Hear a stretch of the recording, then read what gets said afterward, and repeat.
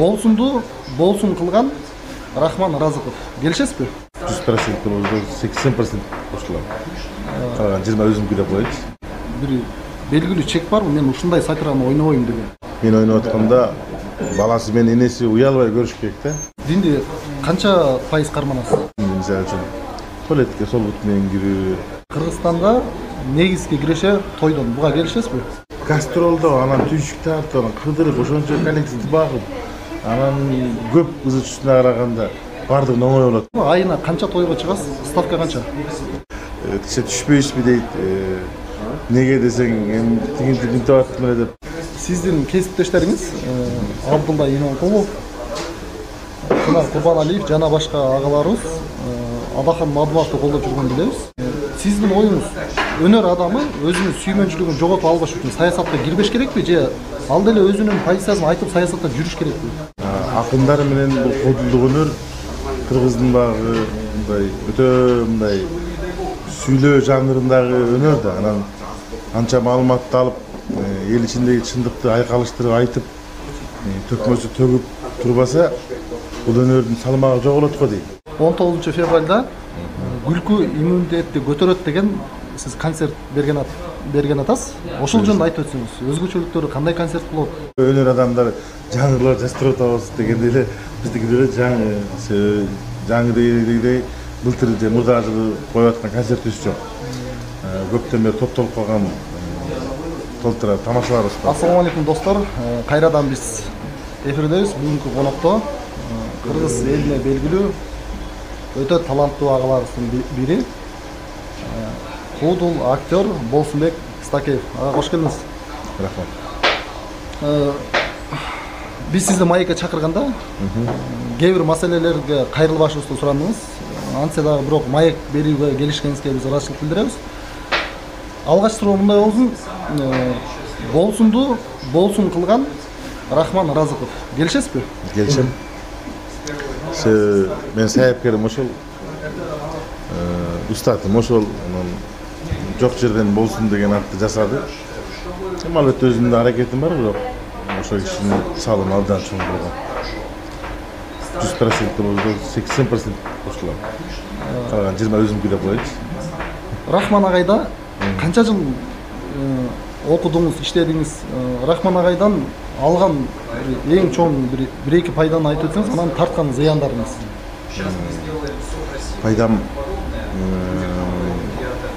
ушу көздөгөн максатыма жеткиргенге себепчи киши ал кишиден сабырдуулукту үйрөндүм майда барап нерселерге кыжалат боло берсем аны мындай көңүлгө албай коюшту үйрөндүм зыян жагы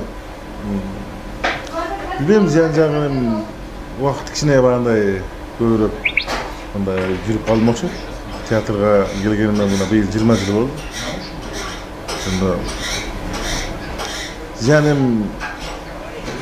зыян почти эми бул кайра өзүмдүн эле күнөөм да бул эми баягы толук кандуу бул нерсени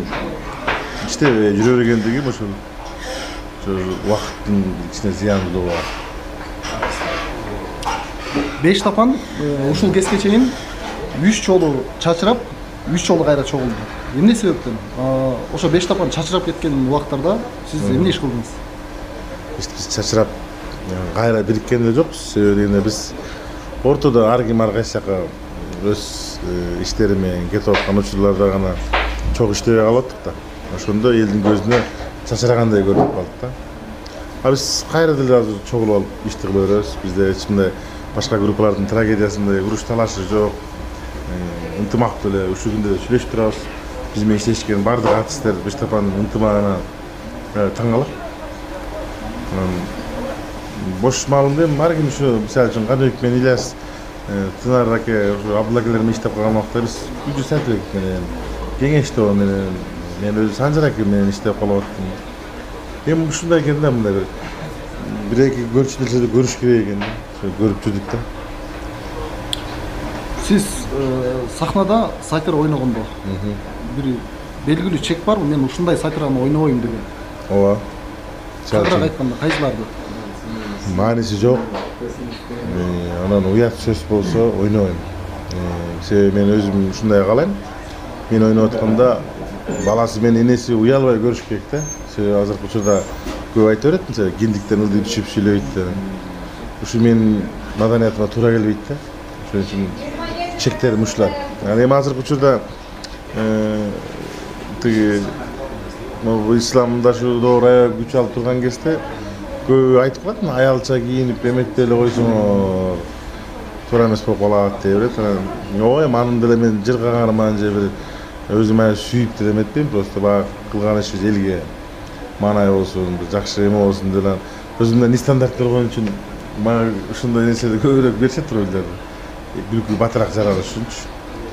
анан эми муну деле акырындык акырындык менен барып анан өз ордуна коебуз го деп turamiz endi teatrdaku o'ynayveraylik masalan demak kunga тура kelib deb kunlarning birinde аялча кийинип ойнону токтотом деген ой бар. Бар. Себеби коом эмнени кабыл аласыз ошону бериш бир жылдары биз илгери бир ойногондо бир мындай бир интермедия бар эле бирдеке кичинен чалаочу куран окутуп турган ошондой таксырлар келип айтат эле жерин алып эле кое койсуңар жат көрүнүш деп. Азыр ойлосоң сразу чыкмаган ошол кезде элдин арасынан бирөө чыгып айтты биз коюп койгонбуз да. Ушул нерсе азыр талап көбөйүп баратат да. Өзүм деле динден жакшы түшүнүгүм бар ошон үчүн дагы мындай мага деле жат көрүнүш болуп баштады да. Динден түшүнүк бар дедиңиз динди канча пайыз карманасыз эми чындыгында карманганда эми баягы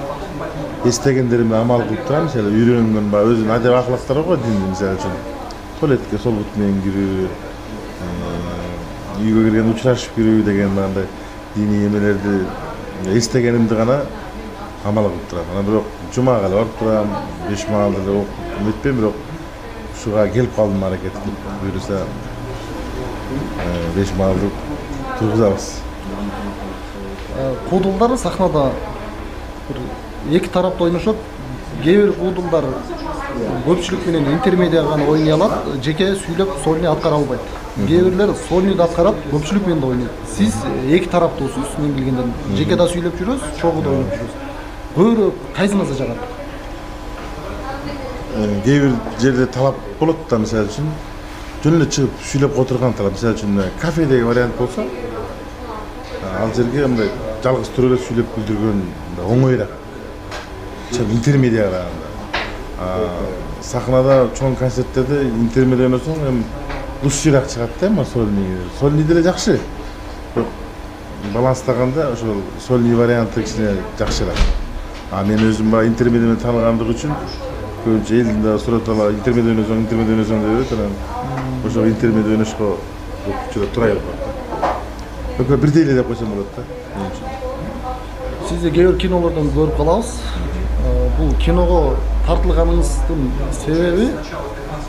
өзүңүздү актерлук жактан да көрө аласызбы же бир акча үчүн гана кандай максатта кино эми актерлук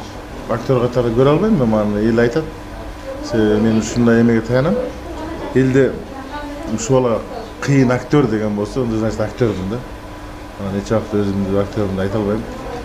колдон келишинче мына биринчи ойногон кинолор кийинки ойногон кинолорумда айымитпей ай тигинтпей дей берем баягы көрө көрө көчөм бара бара чечен болосуң дегендей убакыт деген ушинтип окута берет да анан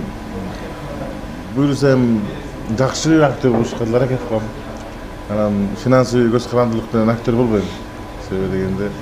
антип бааланып баалашып деле эметип көргөн эмесмин бүт тааныш билиштердин суранычы менен аткарып койгон фильмдер да демек келечекте актерлук жагына да кино жаатына дагы бир кетейин деген ойлор бар ооба эми баягы тиги жарашып турса анан аткарсаң жакшыраак да көпчүлүгү деле айта берет айрыкча актер инилерим айта берет осмай кесипте мындай актерлук мүмкүнчүлүк чоң да сиз такыр колдонбойсуз көрсөңүз формат деген жакшы сиз деген мындай бир шапка кийсеңиз да башка адам болуп кала бересиз мындай реквизит алмаса да башка адам болуп калат сиз нак театрдадамыз дей берет анан баягы театрда окугандык үчүнбү баягы эме болуп калганда мындай өзүмдү сырттан көп көрө албайм аракет кылып эл айтса элге жетип аткан болсо сүйүнүп калам азыркы куудулдар ырчылар э, актерлор баары кыргызстанга негизги киреше тойдон буга келишесизби ооба соңку учурда baribir o'shalar bosib desa qochmadi irchilardilar toyg'ulayq turlar dastur qochdi qudillardilar nimsa eng o'ng yo'l qolsa gastrolda anani tүйшік тартып анан кыдырып ошончо коллективди багып анан көп ызы караганда баардыгын оңой болуп атпайбы барып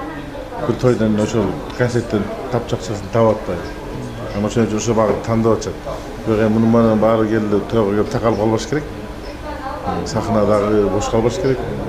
биз бештапанды кыргыз эли билет ар дайым гастролду токтотпой кыргызстандын баардык буручтарына чейин кыдырып жүргөн м, ушундай группа. Анан келишем мен коом кабыл алып атпайбы сизди дагы биздин тааныштар бир топ тойго чакырды тойдон тамадалык кылганыңызды билебиз номерлерди аткарып жүрөсүз сыр болбосо айына канча тойго чыгасыз ставка канча эми айына тойдо көбүнчө ушу суббота воскресенье чыгып калабыз Э, ставка эми эл катары эле мисалы үчүн жыйырма миң деп коем анан жыйырма миң десең баары содалашат кыргыз билесиң э, тише түшпөйсүзбү дейт Э, неге десең эми тигинтип мынтип аттым эле деп э, өзүнүн проблемасын айтат анан өзү проблемасы бар киши той бербеш керек да. Анан баары ал жагынан да карайм өз жагынан да карайм мисалы үчүн. Аябай чоң сумма менен алып бара турган болсом өзүңдүн эмгегиңди баалаш керек да өзүңдүн эмгегиң ошого ушундай туура болот деп дагы бааласаң туура нерсе да анан апсыгып эле көп айтсаң деле эгер ага сен керектүү болуп атсаң алып бара берет бирок кокус ал ойлогондой болбой калсачы анда сөзсүз түрдө анын көңүлү ооруйт бергенинин берекеси жок болуп калат да ошон үчүн мындай туура эле баланстап коем себеби мага да аш болуш керек мага да сиңимдүү болуш керек средний эле ушу жыйырма миң теңге он беш миң ушу эки эки жыл жылдар менен тамада кылып коем эми могу карантин карантин болуп да көп тиги айласынан тойго чыгып калат да эми болбосо мен өзү концертти жакшы көрөм да концерт койгон аябай жакшы мындай пикир бар биздикилер кыргыздар эл жалпы той өткөргөндө ырчыны куудулду актерду таанымал адамды тойго тамада кылып чакырганда анын жакшы жаман алып барганына карабайт анын таанымалдуулугу үчүн акча төлөйт а өтө жакшы алып барган эл тааныбаган тамадалар көмүскөдө калып калат дейт буга келишесизби ой пикириңиз кандай ооба туура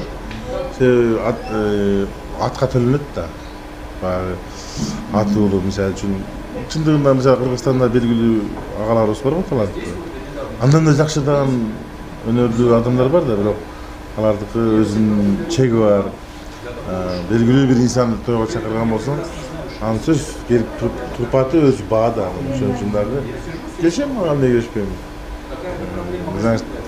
сыймыктангысы келип атса үйдүн ээси баланча келди менин тоюма деп аткан болсо тура эле да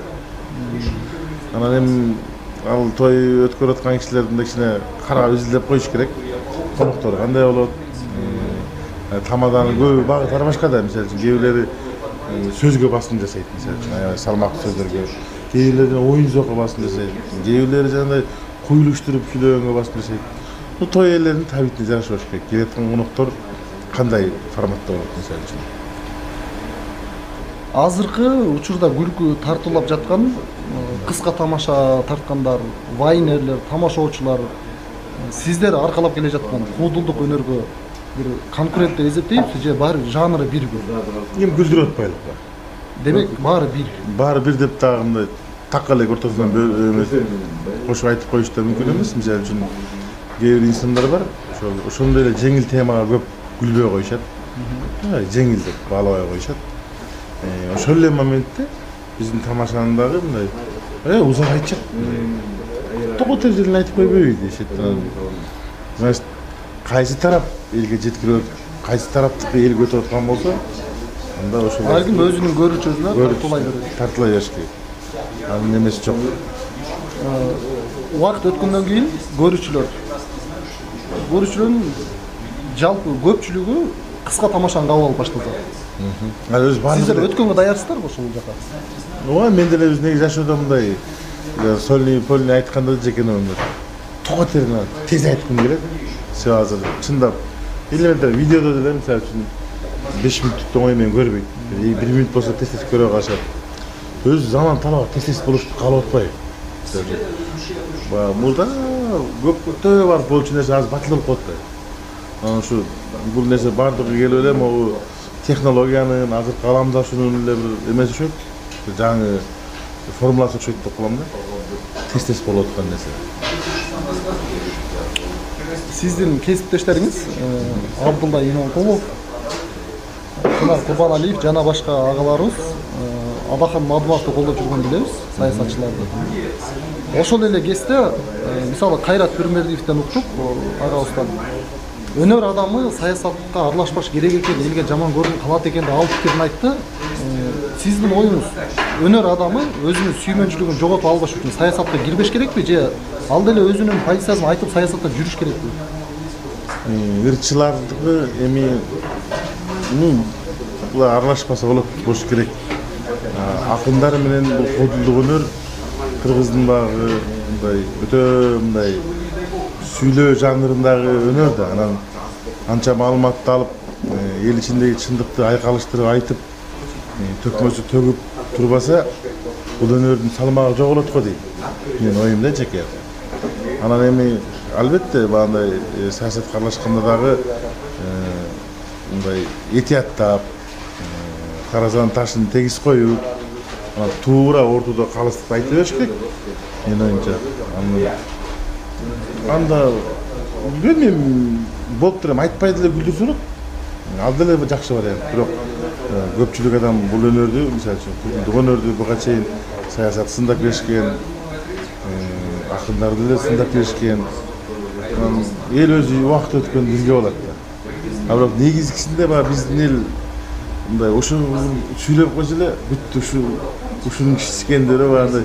жек көрүп мындай жат көрүп албаш керек да мага мүмкүн анын да өзүнүн көз карашы бар да ар кимдинчи анан көз карашты баары эле түшүнө бербейт экен эми ишин кылбай ырчылык дейт Э, болуптур мейли ырчылык ырчылыгын кылсын кудулдук кудулдугун кылсын анда врач деле врачтыгын кылбайлы саясатка эчтеке аралашпай кылбайлы мисалы сен деле мисалы үчүн. Сен ушундай э, интервью аласың эгер сен боксер болсоң боксерлордун кылбайт мисалы үчүн да. Кокус сен бир чындыкты айткың келип айтып аткан болсоң анын боксерлугун бул анын жөнөкөй өзүнүн эмең да ал жеке өзүнүн мындай э, жашоондогу мүмкүнчүлүгүң айтып койгонуңа көз карашың да. Анан ошондо баягыдай просто камчысын чапканда өзүнүн көз карашында камчысын чапканда катуураак чаппаш керек да өзүнүн тили бар да мисалы сайтераны деле кагазга ороп э, мындай сыртынан карасаң жумуртка бирок ичиндеги көрүнүп туруш керек да эл өзү түшүнүш керек а тигини айтып атат буну айтып атат деп. Просто ушул азыр жанагы кайрат э, досубуз айтмакчы ошол өзүнүн өзүнүн эмеси менен айтканда гана туура болот да мындай. Кандай өзүнүн стили менен айтылыш керек да сайтерадан сайтеранын тили менен деле кагазга ороп айтса бул эч кандай эчтеке болбойт анан ачыктан ачык аткылай берсе анда анда сын айтылат эл ичинде А, кагазга ороп айткан кезде дагы ошол сында жаткан адамдар тараптан кысым болуп калса кандай кылыш керек? Кагазга оролгондо эми мисалы үчүн ошол сен айтып аткан темадаги ойногон жүз жыйырма кой бул кантип барып юридический мисалы үчүн мындай кылмыш катары табылат табылышы мүмкүн себеби мындай карасаң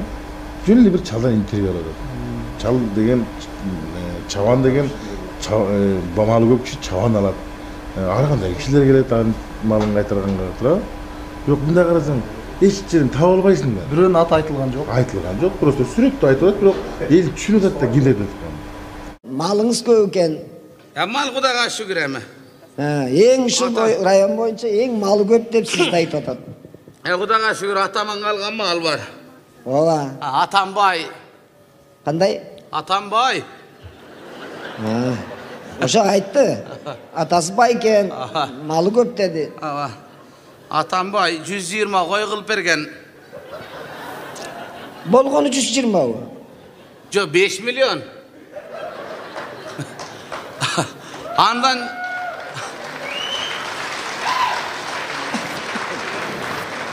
Өзü 5 milyon, andan 120'sını addelli bakavuz da bölüp bakavuz. неге Calan tandalma, gisarlar. гисарларыңыз қандай Мындай куйруктуу куйруктуулар да жалаң. а жалаң қочқорлар десеңіз Жо ургаачы дагы бар. а аралаш па А, у- Эркек ургаачы аралаш. сияқты болуш керек ойлойм да мындай ачыгыраак болуп калса кичине мындай одан аны мен деле көп жактыра бербейм ошол тунар байкелер жүз жыйырма кой деген сатираны ойногондо ошол кездерде ошол сатира башка дагы бир сатиралардын арты менен саясатчылар менен ортодо келишпестик болду сиз эми жакын жүрөсүз ушу тунар байкелер ошол кезде кандай чечимге келип башташты эмне деп ойлонуп калышты тунар байкенин бир жазган эмелерин көрүп калдык мен өзүн дагы сотко берем дегендер чыкты эми ал киши рахман агайдын тирүү кезинде болгон окуялар да буларчы анан ал киши жазат ал киши бизге саясий сатираларды ойно- ойногула деп жазып берет эле да. Анан агай биз кичине бул сатирага жаштык кылат экенбиз. Э, себеби чындап эле кичинекей бала чыгып эле эл башка адамды сындап атса мындай э, биздин баягы кыргыздын жазылбаган мыйзамында э, бала бала деп болсо башы сага деп болсо деп коет экен да. Муну деле сатираны чоң адам айтып өз правдыгын айтса туура болот экен. Анан э, тунар аганын жанагы сатирасынан кийин кандай ала жазып бир ойнотуп атты кайсы сатирасы менен тиги жогору жактагылар кысым көрсөтүп атты аны мен точносын билбейм да бирок болуп атты себеби залдарын таппай залдарды бербей улам бир эле моментте залдарды жылып жылып жылып коюп ушундай бир түйшүктүү неме болуп атты. Эми ал деген жашоонун күрөшү да. Күрөш болуп турат жашоо өзү күрөш ырчылардан куудулдардан сөздөрүнөн угуп калабыз азыркы убакта чоң залдарга концерт койсо актабайт деп көп айтып калышат акыркы жылдары ушуга канчалык чындыгы бар эгер актабаса эмне себептен коюшат мындай дагы көп мен вариантпен айтам муну мисалы үчүн эмнеге актабайт деген дегенде ооба эми артисттин өзүнүн жаңылыгы болбосо эл эмне көрмөк менен баягы жалпы кесиптештерим капа болуп калбасын жаңылыгың болсо барат. Анан экинчиден эл тараптан эл тойдон көрүп атпайбы даже жаңағы инстаграм дегендер даже каяка барып ким менен жолукканын бир көрүп атпайбы анан артисттик сыр жоголуп кеткенден кийин дагы бул кичине мындай кызыгы кетип калат деген сыяктуу вариантты айтса болот экинчиси дагы бир варианты мисалы үчүн биздин сахналардагы өзгөрүп элек коңшулаштардын сахнасын көрсөң көзүң тоет бүт мамлекеттен келип чечилген мамлекетте ыйлаганда эмне? Ошо именно биз айтып аткан проблема. Ошолорду алып келип койсо болот бирок ал чоң сумманы талап кылат. Э, аны коюш үчүн ал артист үчүн төлөм бериш керек. Ошон үчүн мындай ошондон да расходдон коркуп анан көп ушул нерсени жасабай ошон үчүн дагы мындай көп келбей атат деген түшүнүктү дагы э, туура айтып атат да эл ичинде. Себеби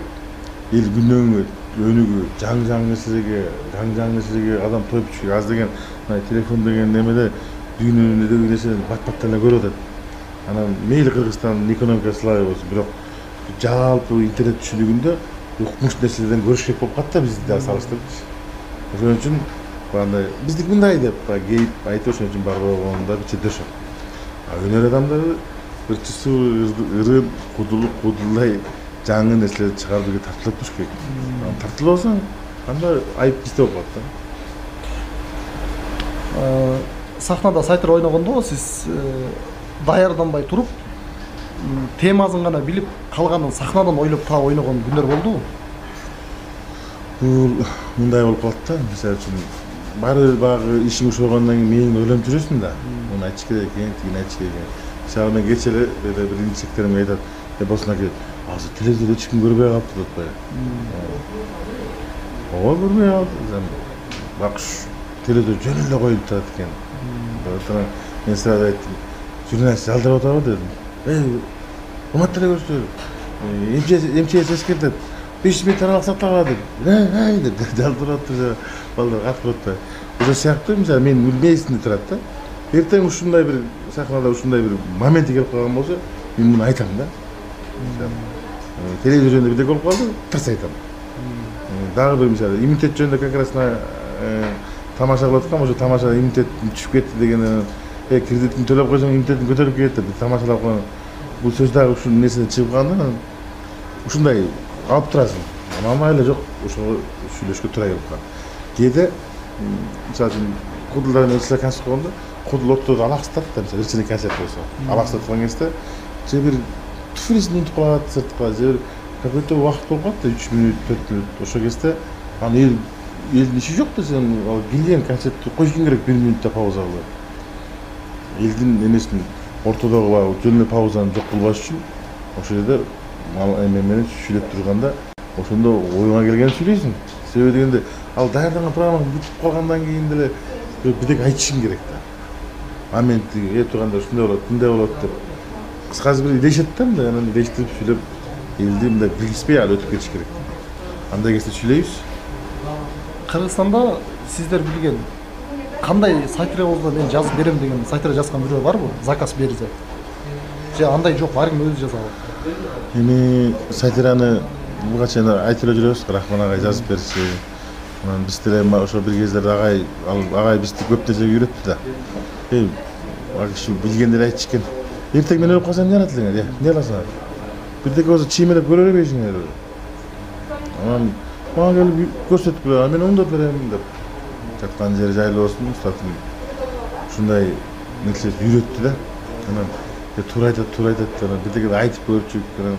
кайра агайга айтсаң жибер мынтип кой тинтип кой «Э, молодец укмуш деп мындай э, дем берип күч берип да жүргөн балдар бар өзүбүздүн балдар ичинде бизде союз өзү таап айтат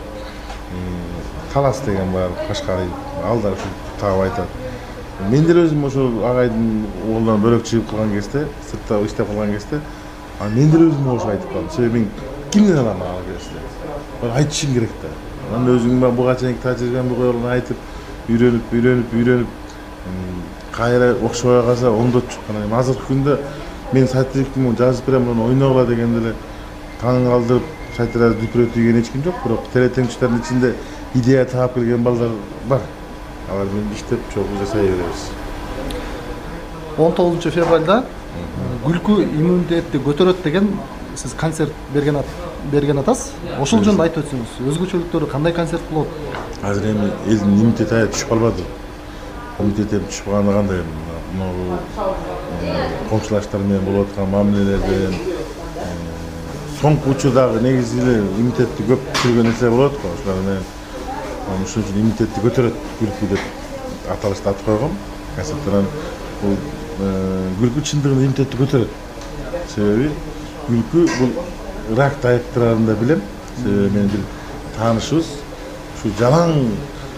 позитивный нерселерди көрүп жүрүп рак деп койгон эмесин жокко чыгарды да оорусунчу бир жыл бою бул кыз бала кадам жайда анан м, тупа ушуга айкалыштырып мен дагы ошол